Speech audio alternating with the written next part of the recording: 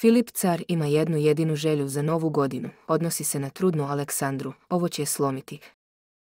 Filip car se obratio putem Instagrama, pa rasplakao brojne fanove Aleksandre i njega.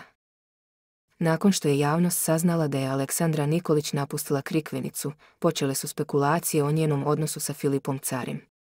Međutim, Aleksandra se putem svog Instagram profila oglasila i jasno stavila do znanja šta se zapravo dešava. Moram samo nešto da vam kažem. Medalja ima dve strane, na meni je da li ću ja dozvoliti javnosti da bude upućena u neke stvari. Sama ću odlučiti o tome, a medalja stvarno ima dve strane. Ne verujte svemu što se priča, rekla je Aleksandra. Navikla sam na to da o meni priča dosta ljudi kao da sam najgora, stvarno se više ne obazirem na to i zaista mi je sve postalo smešno. Tako da uživam na kafici i želim vam svima stvarno lepe praznike. Nemam potrebe da se izjašnjavam. Kačite šta želite i pričajte šta želite, ne dotiče me, zaključila je Aleksandra.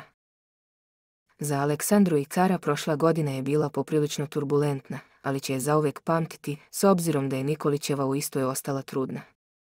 Filip se danas oglasio putem Instagram profila, pa objasnio zašto jedva čeka narednu godinu. Naime, objavio je fotografiju devojčice uz simboličan opis hi 2024. samo ljudina i ništa više napisao je Filip uz fotografiju bebe. Ovo je raznežilo njihove zajedničke fanove koji i dalje veruju u njihovu ljubav, iako ni dan danas niko ne zna da li su zvanično stavili tačku na njihovu vezu.